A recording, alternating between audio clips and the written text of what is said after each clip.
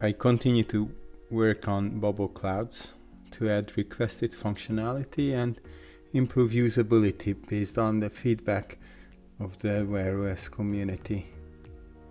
The recent addition of customizable text fields to the Bubble Cloud watch face turned out to be so popular that I decided to implement a few exciting improvements suggested by multiple users.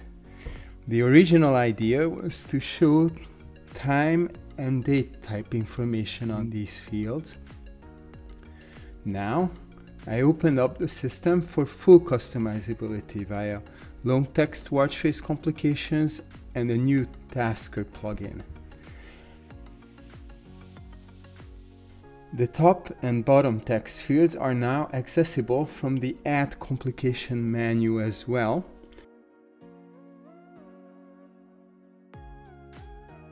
And you will see three new options in the field content selector. We can now connect to a standard Wear OS watch face complication provider to show information such as weather in the long text format. There is a no label option as well for an abbreviated form for watch face complications which include a static label such as the Moon Phase provider for example.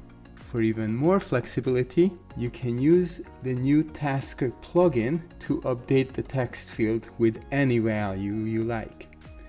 Let me show you an extremely simple example which can show the contents of the phone clipboard on your watch face. With this little trick, you can pin reminders to your watch face simply by highlighting and copying any text on your phone. It's cool, right?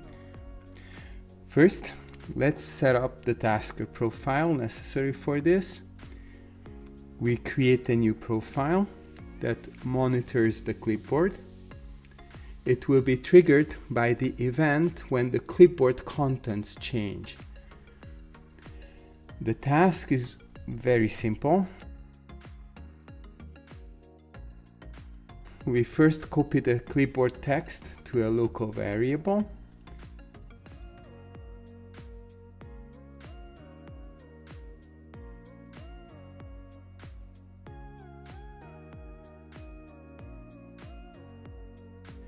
We trim the first 12 characters with the section command so it fits nicely on our watch face.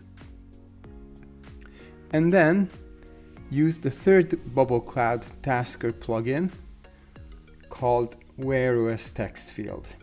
Here we select the top field this time and instead of setting a constant text we use the local variable and this is it.